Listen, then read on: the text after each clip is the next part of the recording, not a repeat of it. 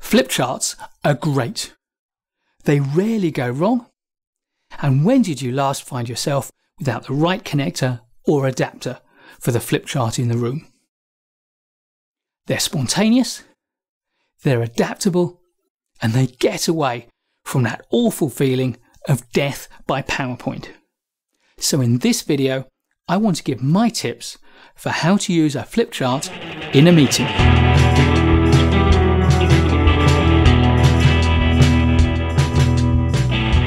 Number one is to position the flip chart before you start, ideally before the meeting starts, but certainly before you start speaking. Adjust the height, check the paper, and make sure all of the screws are tight. I've seen flip charts collapse because people haven't checked the screws, so make sure you do all of that before you start.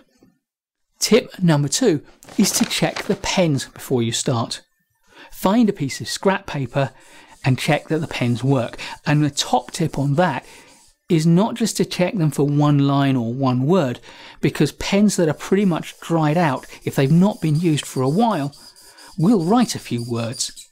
Check them by doing a fair amount of scribbling or writing a few words to make sure that they work well. And best of all, top, top tip, is to bring your own pre-tested pens with you so that you know that there's going to be a working pen available to you and you're not going to have your presentation spoiled by not having the pen you need.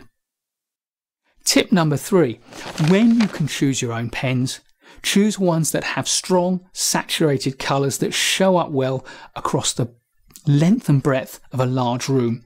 And also choose ones with a broad tip so they draw a nice broad line that's easy to read. My preference is for what are called chisel tipped marker pens rather than bullet tipped marker pens because not only are they capable of drawing a broader line, but they also give you the capacity to draw thin lines as well if you want to. Tip number four is can you prepare the flip charts in advance of the meeting so that you waste less time drawing and can spend more time explaining? Now, it is worth saying that sometimes drawing a good flip chart is part of the theatre, and it's also true that sometimes you can't prepare in advance because what you need to draw or write is driven by the comments in the meeting. And tip number five is if you do pre prepare flip chart pages, then do them on alternating pages with a blank page between each.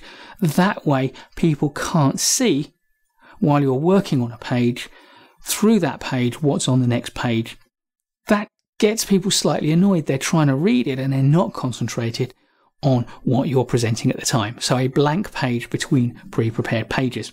And tip number six is if you need to reference pre-prepared flipchart pages or if you're spending a long time and may need to reference pages you've already done, then sticky notes with a short description or a number on them makes it really easy to find pages in a flip chart.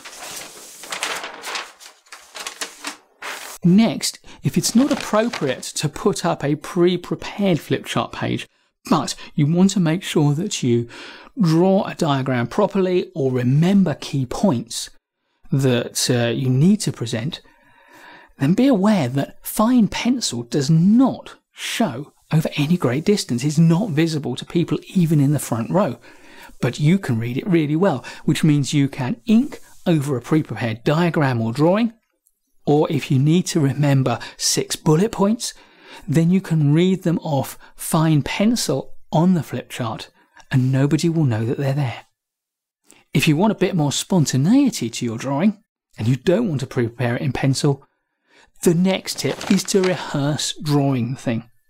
Draw it a number of times on an ordinary sized piece of paper with pencils and pens, and then when you've got the sense of the size and the scale of different elements of it and how you want to draw it, practice a few times with marker pens on a flip chart. Next, make everything big and bold. Bold text, usually best if you do capitals rather than script. Bright colours, big diagrams.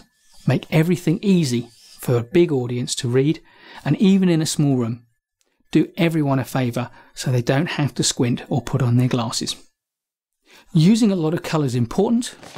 Use it in a consistent way. But recognize that some people cannot distinguish certain colours. The commonest is red, orange, green colour blindness. So don't use colours as the only way to distinguish important concepts. And if it is an important concept and you want to use colour to help to distinguish it, then choose colours a long way apart on the spectrum.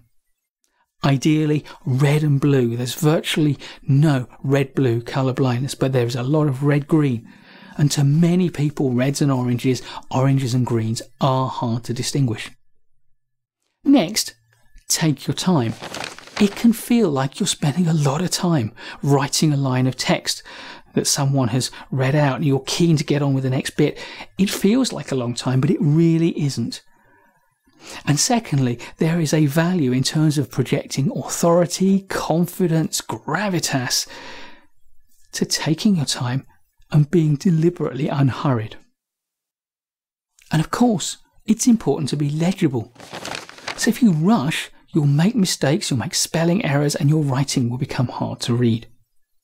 And by the way, if your writing is naturally hard to read and you can't get it to look easy to read, no matter how slowly you go, then ask someone to write for you, particularly if you don't have a chance to pre prepare and you need to respond quickly to things that are said in the room. If you're not one of those people who is good at writing in straight lines as you write text, then your pencil is your friend again, but this time in conjunction with a large ruler. Pre rule lines on pages that you might use to write text on. In fact, you can buy pre-ruled or dotted or grid-based flip chart paper. So think about ordering some of that for your organisation. And finally, avoid speaking when you're writing. Firstly, because you're likely to have your back to the meeting. And secondly, because if you're speaking while you're writing, you are much more likely to make spelling errors or even to write the wrong thing. Using a flip chart with confidence and elegance is a skill. It's one you can develop and perfect through practice. These tips will give you the start you need to develop that skill for yourself. Please do give us a thumbs up if you like this video. There's loads more great management courses content to come, so subscribe to our channel and hit the bell so you don't miss any of it. I'll see you in the next video, and in the meantime, keep learning.